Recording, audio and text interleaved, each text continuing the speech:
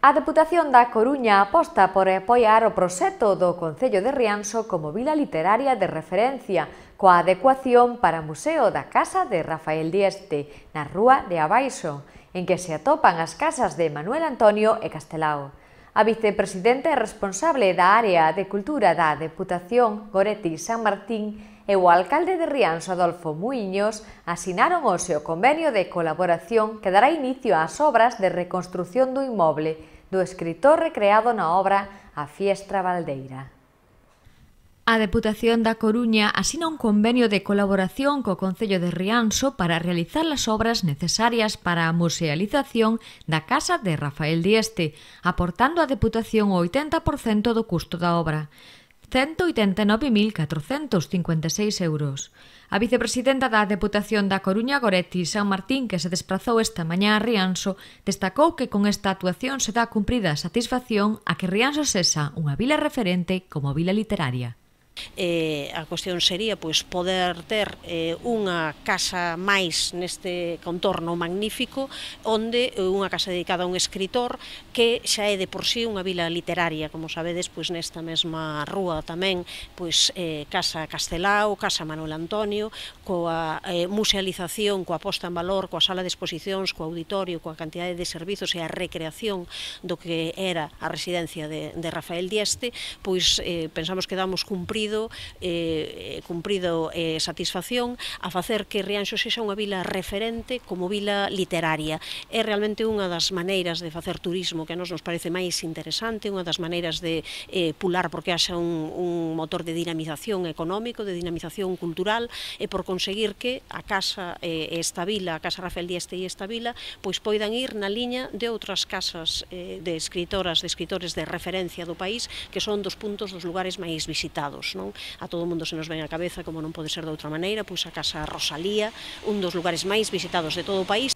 Goretti San Martín destacou a importancia de Rafael Dieste, polo que se debe contribuir a preservar a súa figura caso de Rafael Dieste, unha persoa fundamental das vanguardas, unha persoa fundamental con todas as relacións que mantivo, con todas as personaxes referentes, tanto no mundo da literatura, no mundo da política, no mundo en xeral da comunicación, no mundo da cultura galega, é realmente eh, unha, unha obriga, penso eu, era pois, eh, contribuir a xustamente que este legado non se perda, a que este legado poida eh, estar en, en Rianxo e a conseguir pois, que esas vilas, esas cidades literarias que nós queremos transmitir para o conxunto sexan lugares de espazo, lugares de encontro, lugares onde se faga cultura, non? Eh, nese sentido, para nós, xa digo, é un placer porque sabemos que o Concello de Rianxo leva moito tempo apostando pola cultura, apostando pola cultura, eh, tanto que se chame cultura musical, cultura literaria, creatividade, eh, dentro desa aposta en que sabemos que hai moitísimas liñas de colaboración abertas coa Deputación da Coruña, moitísima aposta tamén particular a través pois,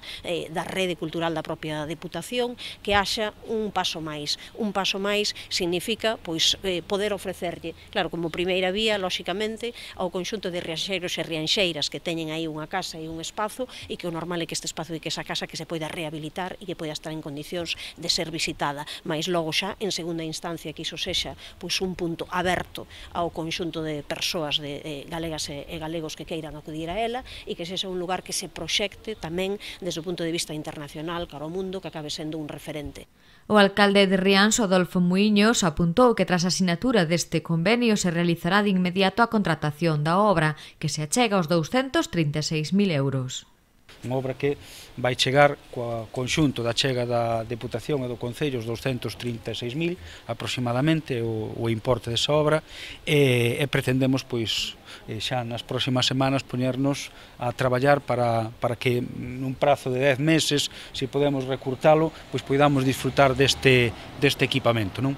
é unha obra importante, unha obra que complementa dentro desta rúa tan especial de Rianxo, que en 100 metros alberga eh, a Casa Museo de Manuel Antonio, esa xa unha realidade municipal, a Casa de Castelao, moi próxima a esta de Rafael Dieste, e que con este proxecto de Rafael Dieste pois acomete tamén eh, a materialización tamén dun proxecto para ubicar nesta rúa tres grandes eh, referentes eh, para a visita de, de, de, da xente, visita turística, visita cultural. Esta casa xa fora o seto dunha rehabilitación exterior, agora traballarase no interior para dotala dos elementos necesarios para abrila ao público. Agárdase que sexa en marzo ou abril do vindeiro ano. O proxecto, obra de Pepe Barro, contempla habilitar unha sala de exposicións e audiovisual na planta baixa e amosar na planta superior a vida dos dieste. Para elo, o Concello garda parte do mobiliario orixinal da vivenda, como é un piano utilizado polas irmás de Rafael Dieste. A actuación contempla ademais realizar melloras na accesibilidade coa dotación dun ascensor. Tamén se vai realizar a mellora do catro eléctrico e dotar a casa de calefacción. É unha moi boa nova, eu creo que xa para Rianxo, evidentemente, contar con este espazo, pero eu creo que para o país, para Galiza, donde eh, é un equipamento máis de, mm, dun escritor da talla de Rafael Dieste, un escritor galego universal, tamén con produción en castelán, eh, tamén unha familia que ten tamén proxetado a súa sombra e a súa creatividade non só a Galiza, senón tamén onde queira que foron. Estou pensando en Buenos Aires, estou pensando en Uruguai, donde queira que foi a familia dieste deixou pegada. De alguna maneira, esta é a casa matriz, a casa eh, familiar e que ese aire que, que ten e que deu Rafael Dieste e os Dieste por todo o mundo, de alguma maneira abrimos un, un espazo eh, para a cidadanía galega, rianxeira en especial e concreto, que aprecia esta, esta vivenda, pero sobre todo tamén para todo o mundo que nos queira, que nos queira vir a acompañar. Eh, é un proxecto bonito, un proxecto, desde logo, eh, que eu creo que arquitectónicamente obra de, do diseñador Pepe Barro, que mm, cando estea habilitado, pois convocaremos outra vez para esta para ver este este novo espazo gañado para a cidadanía, para a cultura galega, faise xustiza con este escritor, faise xustiza tamén de alguma maneira con Manuel Antonio, queda facer xustiza con Castelao, moita xustiza con Castelao, pero bueno, é un avance e eu creo que é o exemplo de que das tres vivendas que hai nesta rúa, dúas se poidan convertir en casa museo. A adecuación desta casa como casa museo virá a sumarse á de Manuel Antonio. Queda agora pendente lograr o propio coa Casa de Castelao, o que segundo explicou o alcalde non está nas mans do Concello. A familia Baltar se ten feito algún intento de falar co, coa Xunta de Galicia, Ahora, non frutificou eso evidentemente, pero non hai que perder a esperanza de que se poida chegar a ese acordo. Ora, a diferencia de, de outras estas actuacións que son máis asequibles para o Concello, para a Diputación, eu creo que a Casa de Castelao como a de, da Matanza é un proxecto de, de país e, polo tanto, quen debe capitanear esa actuación é a Xunta de Galicia. O alcalde de Rianxo aproveitou a visita da vicepresidenta da Deputación para facerlle entrega dun libro dos bolechas relacionado coas casas dos escritores rianseiros.